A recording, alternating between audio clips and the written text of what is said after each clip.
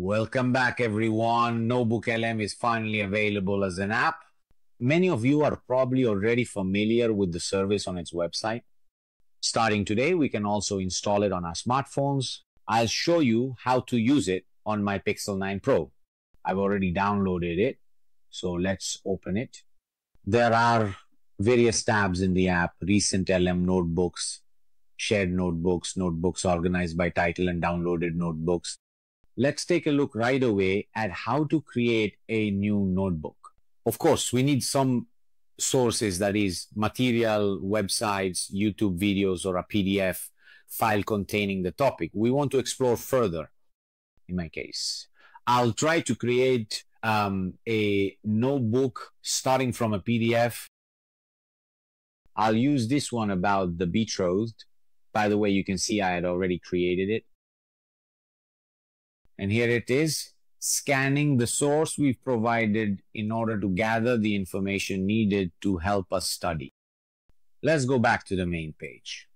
Even if we leave the notebook page, all the necessary operations to assist us are still carried out in the background. I'll show you the one I already have ready about the betrothed, the one with the text in Italian. So first of all, we're given a brief summary. Right here on this page, which is the chat tab in the middle, as you can see, we can ask questions about the entire work. For example, W, come on, who dies in the betrothed?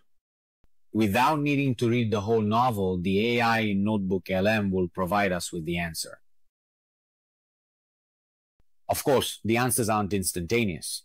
Let's remember that there's a process of analyzing texts and, and various documents, different materials in order to arrive at the answer.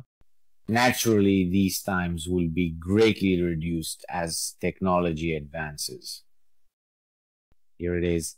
It answers my very brief question by listing all the people who died and the circumstances in which they died in the betrothed. Excellent, really excellent. What else can it do? Let's go to the studio tab. Here, it can generate a podcast up to eight minutes long where two voices discuss the topic, which makes it easier and um, more enjoyable to listen to uh, a conversation about a subject we're interested in so we can learn something. Let's try it out right away. Of course, I had already generated the audio overview. This is what this function is called because it takes a bit of time. But the first time you generate it, it will take a few minutes. In the meantime, I'll show you what we're talking about, rather, excuse me. I'll let you listen. A few seconds to launch the podcast.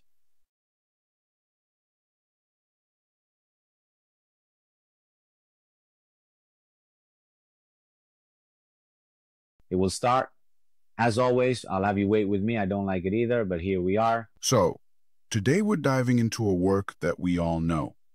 As you can see, it starts discussing the topic and we can listen comfortably. You can um, send the app to the background and keep listening to the podcast without any problem.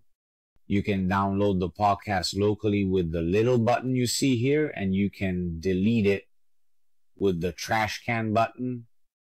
We can go back. I remind you that for each notebook, we can edit the sources on this page so we can remove the ones we've added or add new ones. We can ask questions about the topic, about anything included in the sources, and um, Notebook LM will answer us. And in Studio, the third page, we can actually generate an audio podcast where two voices discuss the topic. Podcasts can also be shared. We need to enter the podcast listening interface, and from there we can share it. I hope that Notebook LM helps many students study at school and learn more, faster, and better. Thank you all for your attention. As always, I invite you to subscribe to my channel and leave a like on my videos. Bye.